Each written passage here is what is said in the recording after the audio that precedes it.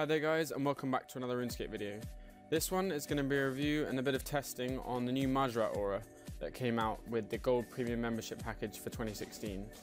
You can purchase this package for either 24 bonds in game or which cost me around 340 mil which is what I chose to do or around uh, 65 pounds or GBP that is uh, for RL money. Now this aura has two versions. It has a standard version which can be used once a day which just gives a plus 5% damage to all styles. But then the, the other version of it, which is the one I'm testing out here, is the Berserker version, and that gives you plus 50% damage to any style uh, wherever you are.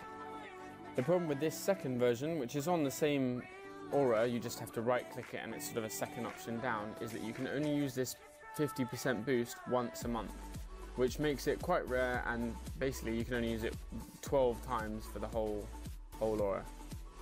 I decided to test my first one for this month at Vorago in a 5-man. Just wanted to see what it hit, it was quite a lot of fun to use and just kind of wanted to experiment a little bit with the damage caps etc. Now, as you'll see throughout the three clips here, the first thing I decided to do was get max XP, so that's 26.6 on P2 without using a single sun or meta, so just threshing the whole phase, which seemed to be pretty easy.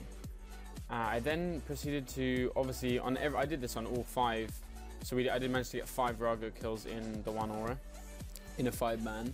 And the next thing you'll see me do is we uh, have, is we're on Scop week, and I basically managed to hit extremely hard on the Scops in a meta, so I hit about five to or six 10Ks, which is the damage cap on a Scopulus, which is pretty cool. This made for really quick kills, and seeing as we were five man, it basically meant that me and one other person would just go on one Scop, and the other three people, including the bomb tank, would go on the other, and we were pretty much even, if not done, before them. Which, yeah, it's pretty OP in my opinion. The last clip in this video you'll see is me getting max XP on P4. Now P4 normally to get max XP is extremely difficult. Um, I've, I've, only ever got it a few times and it relies on extreme just RNG and massive hits. However, in this clip you see that because of the aura I hit up to sort of 9k Dragon Breath and I actually get an 11 plus crit on my last Tendril hit, which is pretty outstanding. So what's the point in this aura? A lot of people have been asking, you know, is it worth it? Buying the gold membership package and there's a lot of sort of factors that I think you have to take into account. I certainly wouldn't, you know, buy the gold membership package just for this aura. It is good. It, it does hit very well, but it's once a month and it's pretty, it is fun to use. But you know, long and short of it, you get an hour out of it every month, so that's one thing to bear in mind. So what's my verdict on this? Is it worth using it Vorago? Yeah, I mean, if you want to have some fun and you don't really have anywhere else where you're struggling to get kills, um, then yeah, go for it. It's it is pretty cool, and seeing massive hits does, you know, speed phases up occasionally, especially phase three this week. You can really hit extremely hard.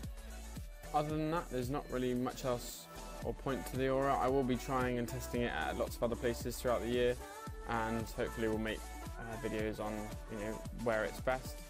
Uh, please do let me know in the comment section if you've bought the gold membership and whether you think, if you've tried the Aura yourself, let me know what you think of it or where you tried it and what the results of it are. And I hope to see you in the next one.